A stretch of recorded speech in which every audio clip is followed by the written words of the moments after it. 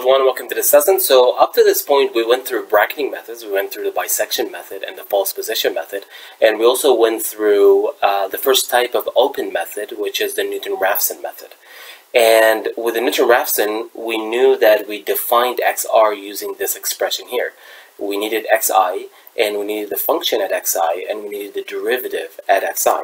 And we also described that the Newton-Raphson is unlike the bisection and the false position, is that with the Newton-Raphson I need to know the derivative, or the first derivative, of my function. Well, let's assume, in this case, that the first derivative of my function is inconvenient or difficult to get. Can I still get an approximation for my root? Can I still uh, find a solution for that derivative? Well, and the answer is yes, because with, with Taylor's series, we use Taylor's series to approximate derivatives, right? We approximated the first derivative using three techniques, the forward finite difference and the backward finite difference and the centered finite difference. So despite the fact that we're going to assume that we don't know how to get our derivative, we can approximate it, right? And we're going to approximate it in this way uh, using the backward finite difference, if you remember, is basically f of xi minus 1 minus f of xi divided by the distance between these two points, right? So the point I'm interested in, which is xi, and a point backwards to it, which is f of xi minus 1. And if you remember also, what I meant by um, xi minus 1 is basically a certain distance backwards to xi, and we define that distance by the letter h. So what I'm going to do is I'm going to take this approximation, this equation, I'm going to plug it up in this Newton-Raphson equation that we developed in the last lesson. And this will stay in the denominator and this will be will go up in the numerator. And I, I end up with this expression that I have here. And this becomes uh, what we will call the secant method. So what is the secant method? Well, it's basically the Newton-Raphson method in which the derivative is approximated using the backward finite difference. That is the only difference. That is basically the only difference between the Newton-Raphson and the secant method. Secant method is just nearly we're approximating the derivative now. So, given that we know that, so in this lesson we are going to actually write a program to deal with the same function that we dealt with, also the same approximate error of 0.1%. And also after we're done with this, we're going to compare, after we approximate the derivative, how does the results compare to the Newton-Raphson? And you can really predict that from now. So with the Newton-Raphson, we're using exact derivatives, right? And now we're approximating. So with approximations, we do predict that they're going to give less accurate uh, results. But we're going to see this using numbers now. So I already created a sheet here named secant.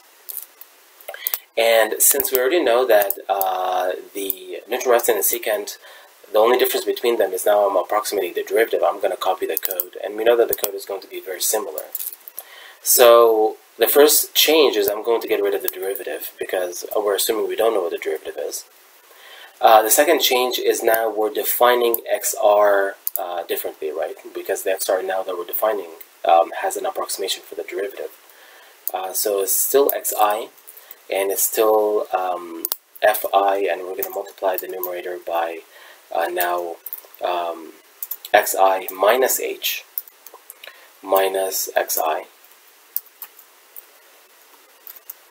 and can I get rid of that?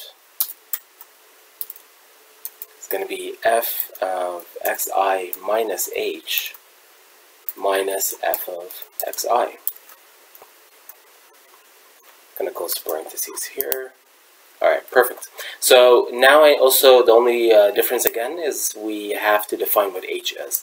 And I'm going to define the step size initially as 0.5.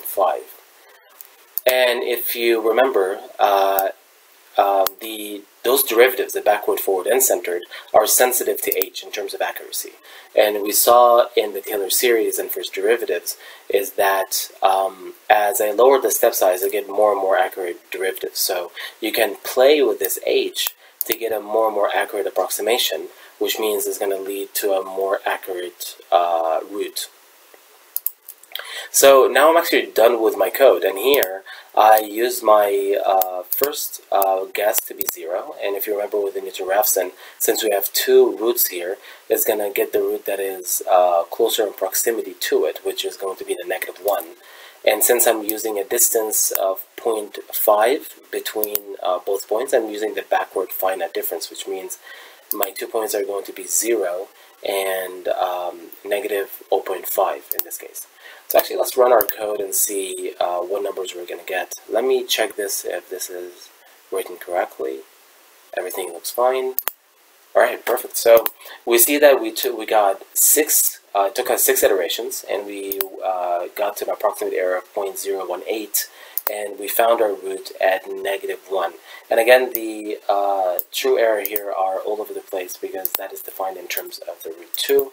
So that's actually defined in terms of the negative 1 root, um, and that should fix it. Alright, perfect. So um, let's actually take this and let's compare it to the Newton-Raphson. So let's see, we took six iterations and we reached a approximate error of 0.018. But with the Newton-Raphson, we took five and we reached a much lower approximate error of 0.005. And we actually had a true error, so we actually uh, reached our exact root. So you can see by using an approximation for the derivative, it did add some error, and we can see that from the difference between 0.018 and the difference between 0.005. So now that we approximated the root at negative 1, how about we go to the uh, root 2?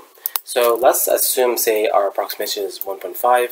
Let's still uh, use the uh, uh, h of 0.5, and since we're using backward finite difference, basically we're using 1.5 and 1 to approximate what our derivative is.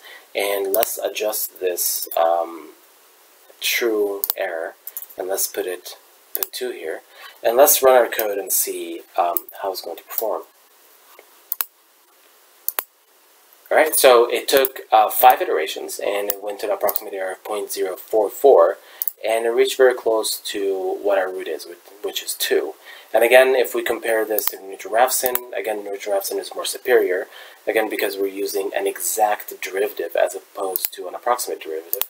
And here we have an approximate error of 0.005, and here we have an approximate error of 0.044. Now, to recap what we did in this lesson, in this lesson we uh, introduced a new method to find roots of equations, which is the secant method. And the secant method is basically the Newton-Raphson method in which we approximate the derivative using the backward finite difference. And we explained that um, because we're using an approximation, we are going to um, have a lesser accurate um, uh, solution compared to the Newton-Raphson. And we saw this by comparing the approximate error between the, um, the secant method and the Newton-Raphson method. Uh, well, and also, uh, the code wasn't much different from the Newton-Raphson. So the Newton-Raphson had the definition of the derivative, but with the secant, we took that away because we're assuming we don't know what the derivative is. Um, with the Newton-Raphson, this is how we define R. The change in this code is now we're defining R uh, with the backward finite difference approximation, which is this equation down here. And also, since we're using approximation, we're going to have to define h, and we defined h here as uh, 0.5. Well, that marks the end of this lesson, and I'll see you in the next lesson.